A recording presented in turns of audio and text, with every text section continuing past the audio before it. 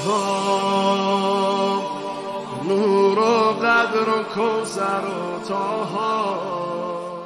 اللہ الرحمن الرحیم۔ ذکر کرتی ہوں اس ہستی کا جو کہ خواتین میں سب سے بلند مقام پر فائز ہے، جن کی زندگی کا لمحہ لمحہ ہمارے لیے مشل راہ ہے۔ آئیے ہم تبرک حاصل کرتے ہیں صفات کا، کردار کا، سچائی کا، صبر کا، صدیقہ، طاہرہ، راضیہ، مرضیہ خاتون جنت یعنی بی بی فاطمہ تو زہرہ کی ذات سے جن کے نام کا مطلب دوزخ کی آگ سے نجات دینے والی ہے۔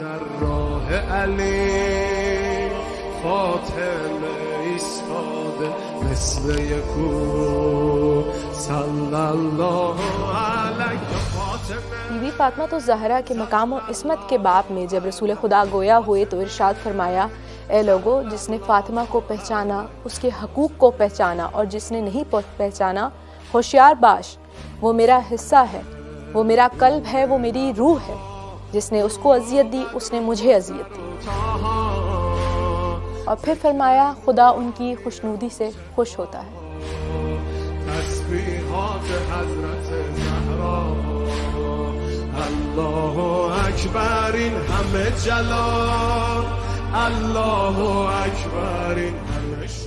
امام جعفر صادق علیہ السلام سے روایت ہے کہ ہم جس طرح اپنے بچوں کو نماز قائم کرنے کا حکم دیتے ہیں، اسی طرح تصویر فاطمۃ الزہرا پڑھنے کا بھی کہتے ہیں۔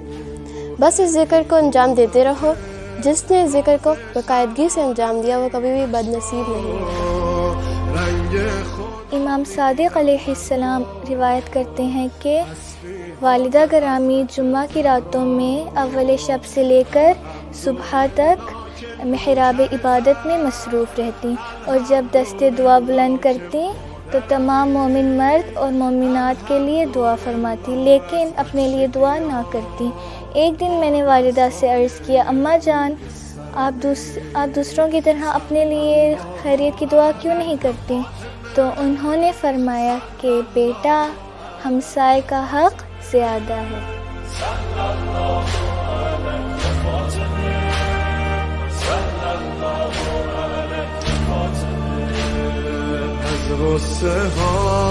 سیدہ نساء العالمین، شب عروسی کے وقت اپنے بابا کے گھر میں ہی تھی کہ انہوں نے اثار و قربانی کا ایک ایسا عمل سر انجام دیا کہ جس کی مثال نہ اولین میں ہے اور نہ آخرین پیش کر سکتے ہیں۔ خواتین کی تاریخ میں آپ نے ایک ایسا عمل سر انجام دیا جس میں آپ لا شریک ہیں۔ شادی کے روز بی بی فاطمہ تو زہرا اپنے شب عروسی کے لباس میں تھی کہ اچانک ایک سائلہ نے دروازے پر دستک دی۔ اور کہا کہ وہ بے کس و بے نوا ہے، اس کے پاس پہننے کے لیے لباس نہیں۔ یہ سننا تھا کہ بی فاطمہ تو زہرا کے پاس ایک پیون لگا لباس تھا۔ بی فاطمہ تو زہرا وہ لباس اس عورت کو دینے کے لیے گئیں۔ تو اچانک ان کے مقدس کانوں میں فرمان خدا بندی گنجا لن تنال البرا حتیٰ تم فکو میں تحبون۔ جب تک تم اپنی پسندیدہ چیزوں میں سے خرچ نہ کرو، تب تک تم نیکی کو ہرگز نہیں پا سکتے۔ یہ سننا تھا کہ بی بی فاطمہ تزارہ سلام اللہ علیہ نے اپنا عروسی جوڑا سائلہ کو دے دیا اور پیوند لگا لباس خود پہن گئی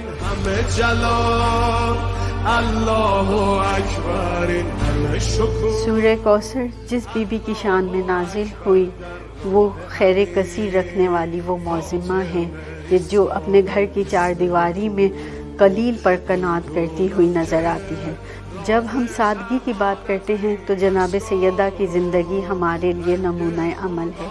کہ جس میں بی بی اپنے گھر کا سارا کام خود کیا کرتی تھیں کھانا بنانا، صفائی کرنا، کپڑے دھونا۔ یہاں تک کہ بی بی کے اگر جہیز کے برتن دیکھے جائیں تو وہ بھی مٹی کے تھے۔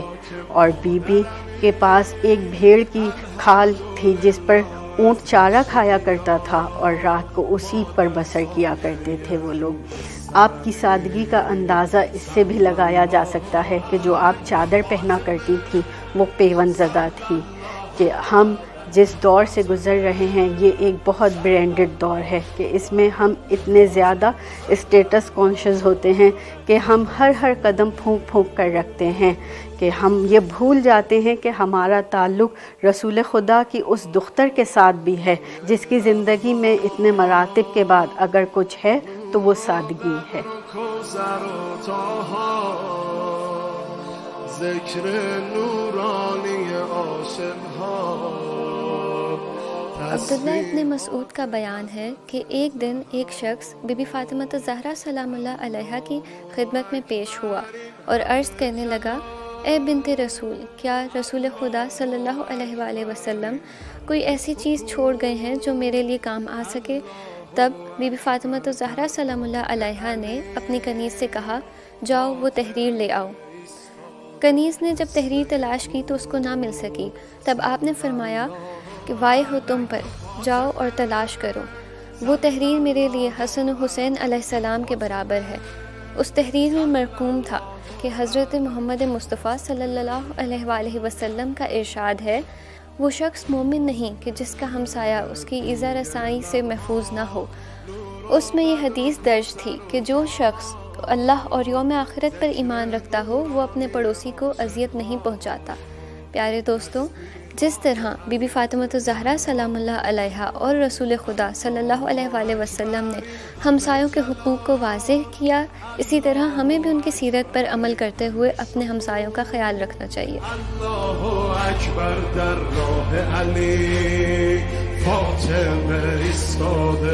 عورت کے لیے بہترین چیز یہ ہے کہ کوئی بیگانہ مرد اسے نہ دیکھیں اور وہ بھی کسی اجنبی مرد سے بات نہ کرے۔ اس سے ظاہر ہوتا ہے کہ پاکیزگی عورت کا زیور ہے۔ جیسے کہ شہزادی کونین، بی بی فاطمہ الزہرا کی مثال ہمارے سامنے ہے۔ ہمیں ہماری بی بی اپنے فرائض انجام دینے کے لیے بہت سے موقعوں پر نظر آئیں۔ جیسے کہ جنگ عہد میں بی بی فاطمہ الزہرا رسول خدا کی مرہم پٹی کرنے گئی۔ مباحلہ کے میدان میں، حتیٰ کہ بی بی فاطمہ الزہرا اپنا حق لینے کے لیے دربار تک گئی۔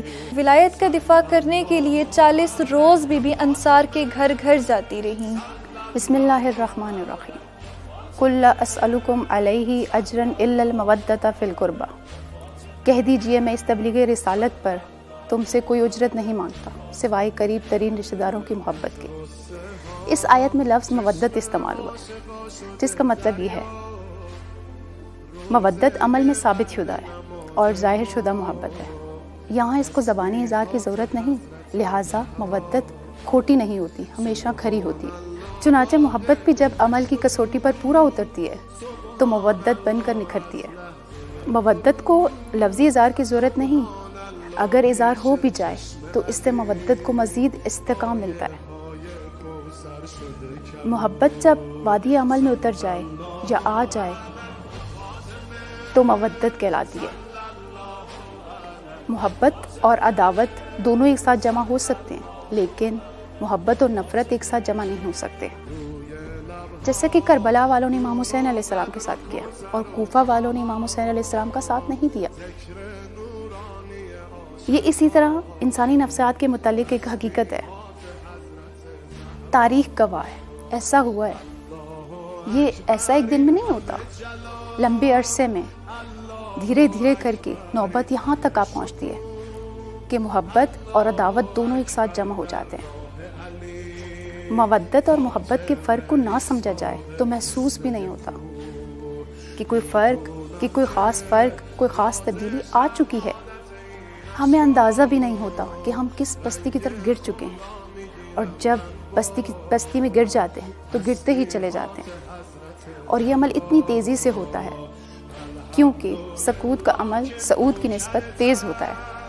اسی لیے کب مودت، محبت میں بدل جاتی ہے انسان محبت میں پستی کی طرف جاتے جاتے اور انسان ولی خدا سے دور ہوتے ہوتے کب دشمنوں کی صف میں کھڑا ہو جاتا ہے اور محبت عداوت میں بدل جاتی ہے۔ رسول خدا کے بعد ولایت کا دفاع کرنے والی بی بی فاطمہ تو زہرا کے علاوہ اور کوئی نہ تھا۔ اگر بی بی خاموش رہتی تو شاید ولایت باقی نہ رہتی۔